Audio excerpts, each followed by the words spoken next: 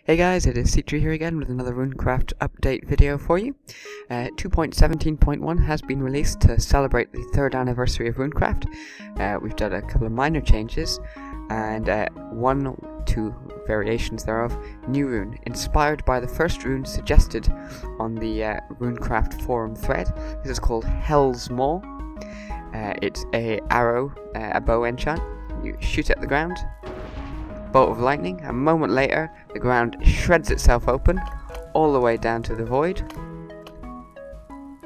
slicing neatly through bedrock. But don't worry, it's a temporary effect because shortly this is going to fill itself back up exactly. Oh, here comes the water. Exactly the way it was to begin with. I think it's about uh, 30 seconds delay between uh, hitting the bottom and coming back up again. So, server admins do not despair. Um, yes. This rune is designed for uh, essentially for killing things. Uh, anyone falling down there is uh, probably not going to be fast enough on the draw to um, uh, fly back out, and uh, those that aren't, you're either going to suffocate, drown, fall out the void, catch fire if you're unfortunate enough to be on the edges. You get one use for the gold ore variant.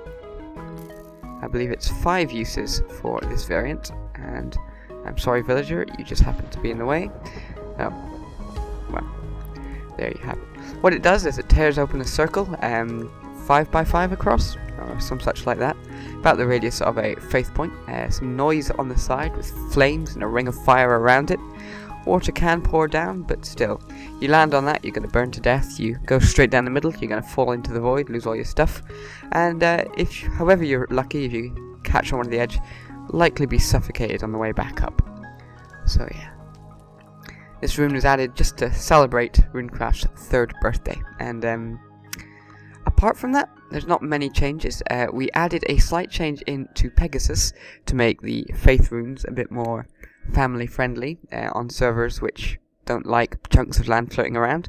If you imagine this as being the 14 points on a sphere, there's the bottom point, the top point, the left point, the right point, forwards and backwards, and then the four corner points.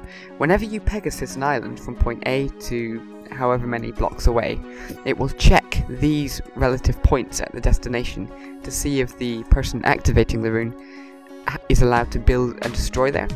And if they're not, then you won't be allowed to uh, Pegasus. And that's just to make it more compatible with things like towny residents that don't necessarily well, that don't subscribe to RuneCraft, as it were. So now you can protect your land from people coming in with Faith Islands that you don't want to. They can still FTP in, but you've got to build the Faith points for that. So one way or the other, you can control who is coming into your land if you want to. Those are the main changes. Uh, no, actually, that's all but one of the main changes. Unfortunately, um, and we were only just made aware of exactly what was causing this, the latest build of Bukkit for 1.62 is having issues with um, it was having issues with engraved items. So we've disabled those in the meanwhile because a lot of people were experiencing their engravements just vanishing. So you can't engrave items anymore. And uh, we'll need to put in a new system that does that. But in the meantime no engraving. Sorry about that. We will try and get it fixed as quickly as possible. But it's a Bukkit problem not a runecraft problem or rather a side effect of a Bukkit change, not necessarily a RuneCraft problem. Uh, the rest of this video, um, Super Llama and I got together to just chat about RuneCraft, and so there's about 10 minutes of RuneCraft discussion and reminiscing coming up, so uh, you sit back and enjoy the trip down memory lane. So, let me see, RuneCraft, three years old. Um, What's what's the biggest change in three years? Hmm. Well, it was a lot of hassle getting it to work on Bukkit. Because I mean, when it was originally designed, this was way before Bukkit was around. It was way before um, you could even add custom enchants and items before there were enchants. I mean, RuneCraft was predates all the potions and any sort of enchanting system before health and mm -hmm. I mean before uh, uh, hunger all sorts of things like that. So definitely quite a lot of things have changed since it was originally thought of. Um, I remember way, way back, it used to be that you had to use golden tools in order to use any tool, run, tool runes. Wow. And I'd actually modded the tools themselves, not the um, not the um, right-clicking function in general. Oh, I see. Wow. Actual That's that's what changed it from 1.0 to 2.0. was the And, um, um, the generic tool system. I see. Right.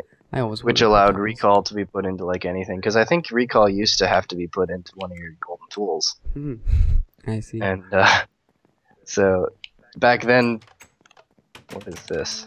People liked um, Lack of stairs, I think.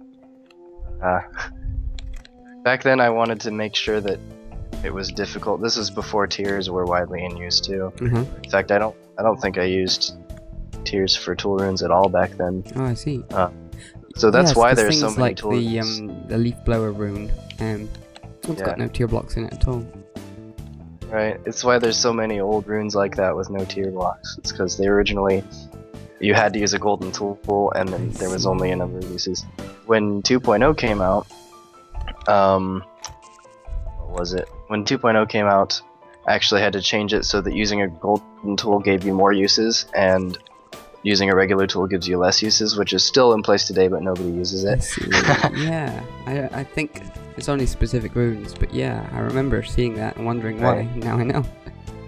Yeah, it's just I hadn't really planned on making it exactly the way it is, Mm. and um, a long time ago I'd even had drawn up some plans for a potion system, but Oh. that's been Yeah, vanilla longer does that this one, yeah. And I mean, even tool runes are kind of weird now with vanilla. Yeah, Um, when 3.0 comes out, we'll probably end up merging systems. overhauling it so that they actually use the enchanting system and are just extra enchantments that you become available by building runes. Yeah, it sounds Oh. seems the way to do it. The um, one of the the reason we added this new thing is because it was literally the first rune that was actually listed on the on the forum. Um, aside from I'd already thought of teleporters and things like that by then, but Mhm.